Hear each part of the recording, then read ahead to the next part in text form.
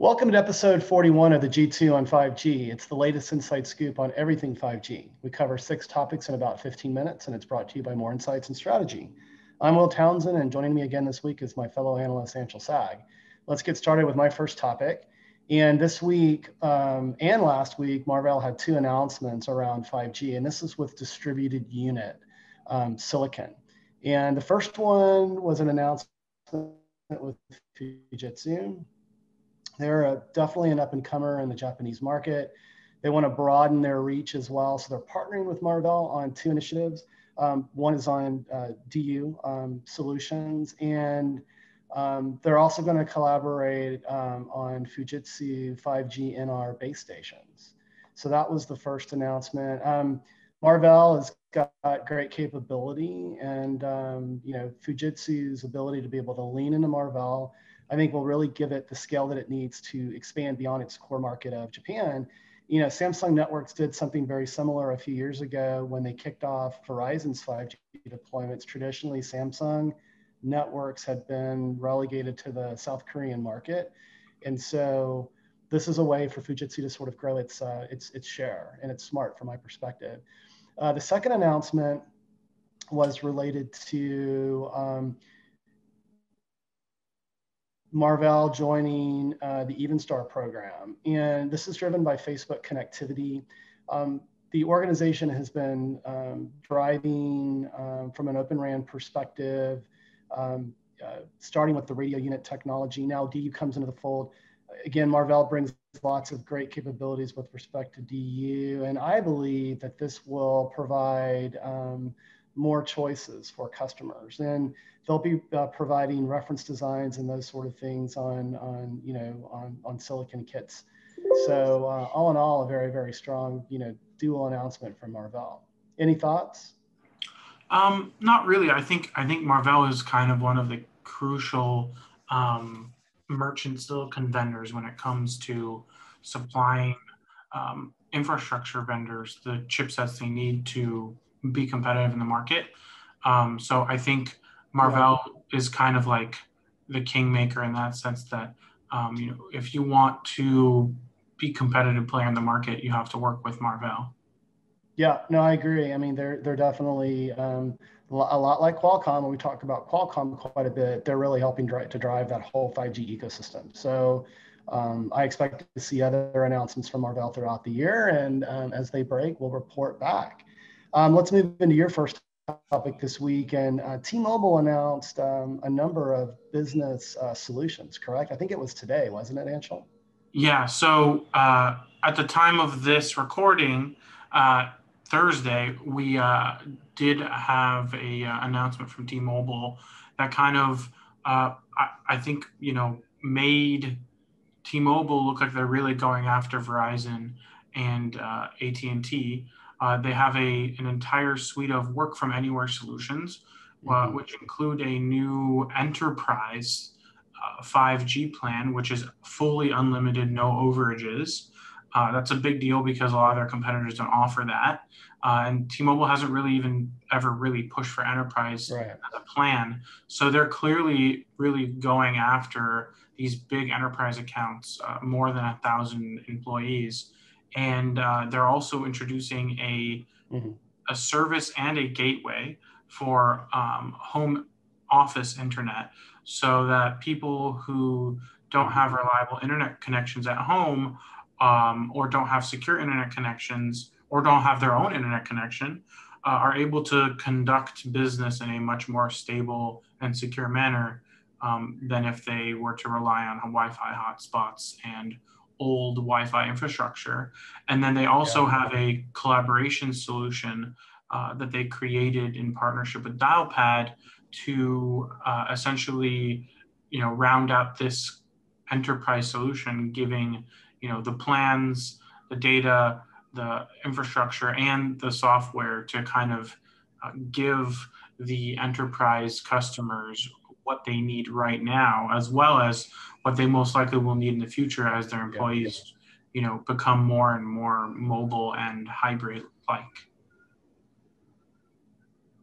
And yeah, no, I think it's smart. I really like the uh, that that that gateway product, right? Because it, it provides a dedicated line, so you're not competing with kids at home that are doing distance learning or or Netflix, right? Yeah, exactly. And I, think that if you look at how these things are moving, I think you're going to see more and more distributed uh, working. I agree. And, you know, yeah. Sorry, I was I was just breaking up. no, I agree. Sorry to, to cut you off there. And you know, I you know this is awesome from my perspective because I've been somewhat critical of the company in the past before the Sprint um, acquisition that they were overly consumer focused, and I think this is a great step in the right direction. I think these are solid offerings and um, it gives them something to build from. And I got to believe that, you know, part of, you know, um, the value in bringing Sprint into the fold was bringing some business acumen along with it. I've, you and I have talked about this before.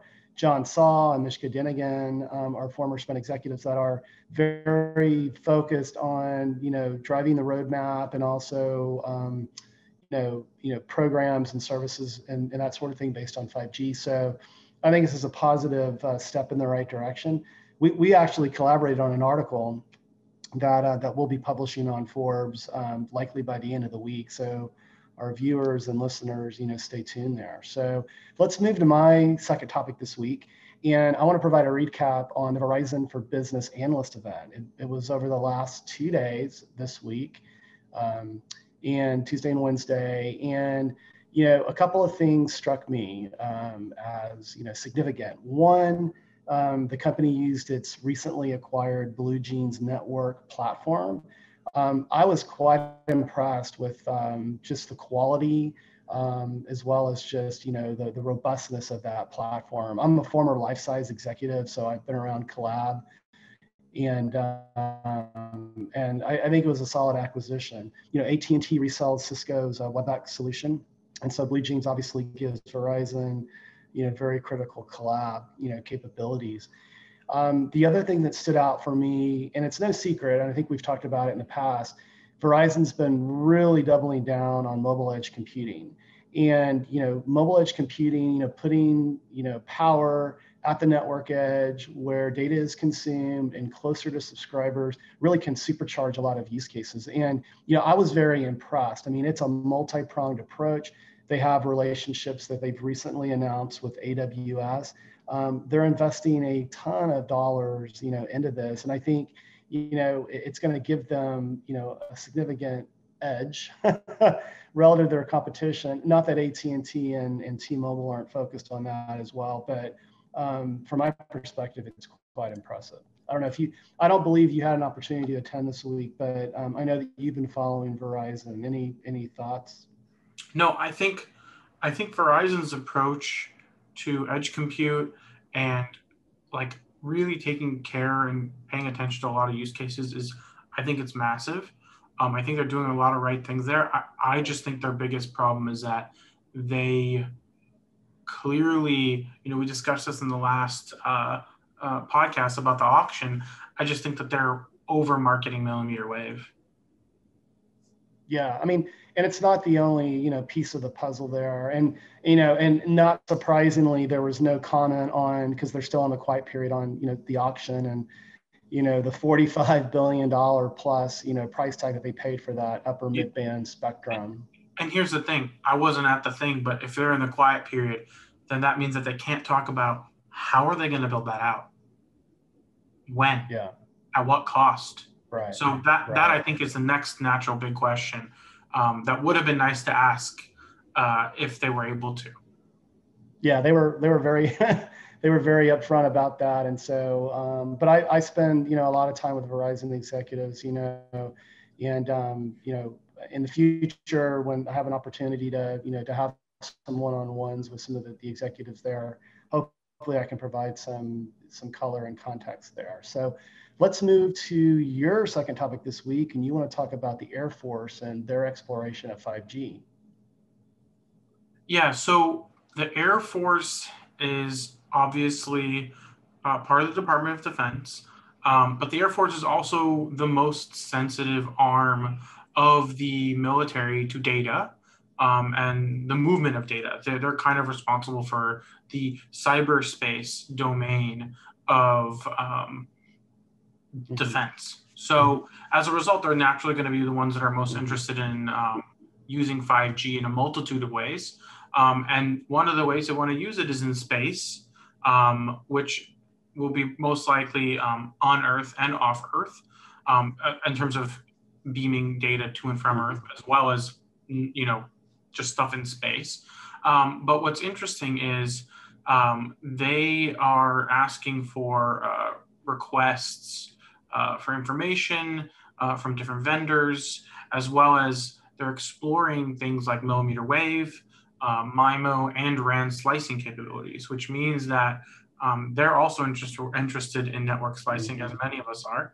Um, and I, I, think it's I think it's a very early step, but I think uh, there's gonna the Air Force is probably gonna be one of the branches that utilizes 5G the most. Yeah, you know, I recall um, an announcement from Nokia last year where um, they were exploring, you know, how to deploy cellular networking on the moon, right? And, and certainly, you know, we've got a lot of eyeballs on what's going on Mars right now and that sort of thing. So um, it's no surprise that um, that the Air Force would be interested in 5G and want to, you know, kind of explore this further. So as things develop, we'll uh, we'll report back. But let me jump into my third and final topic this week. And about a week ago, um, and Inseego announced a partnership to extend the reach of private 5G networking. And I've spoken about Celona in the past. They're a startup. They are partnered with HPE. They're providing a private networking solution as a service to ease deployment. In fact, um, I'll be hosting a webinar next week on March 9th. Uh, we'll be sure to put um, a link to that registration. Um, so if any of our listeners or viewers would like to tune in and learn more about that, they'll be able to hear from myself and a Celona executive. But what I like about this partnership is that people know who Inseego is. I mean, they're the inventors of the, the, the MiFi, uh, formerly Novatel Wireless. And what, what Inseego has been very focused on as well um, are um, delivering solutions that are focused on the edge of the network. And so with you know, with you know Inseego, you know, with its hotspot capabilities and its edge um, devices, and then with Celona providing the infrastructure, it's a nice end-to-end story. And so, um, you know, I'm you know I'm I'm quite impressed. I think anything that can ease the deployment of private networking, I think, because it's being so um, valued, you know, in the in the media these days. You know, and certainly, you know, Ericsson and Nokia, and you know, the the traditional infrastructure providers are also focused on it as well. But I think you know you'll see more startups like Celona, um, you know, enter this space and you know try to try to solve the issue of how do you sort of simplify that deployment. You know, in the enterprise, everyone's familiar with Wi-Fi. It's tried and true and tested cellular technology is different. You know, you've got licensed spectrum and you've got other, you know, challenges that you have to contend with. But um, again, I think it's a solid partnership. I don't know if you have any thoughts on it as well. Um, I don't, but I do think it's it makes sense because um, there needs to be more comprehensive uh, addressing of private networks outside of just the uh, basic inf- network infrastructure that we're all familiar with. I agree. I agree. Well, let's move to your third topic this week, and you want to talk about India and some recent spectrum auctions. Yeah, so India has uh, a, had a recent spectrum auction occur today, actually, which is well, actually now it's yesterday, but um, but basically they sold ten billion dollars worth of auction in two days. Um, and what's interesting is this auction is mostly for low band spectrum, uh, it's not yet hmm. for the mid-band 5G spectrum. A lot of people are expecting for to be auctioned, and it's kind of a demonstration of um, some of the issues that issue that India has with with spectrum and costs, um, because this auction was expected to be a 55 billion dollar auction.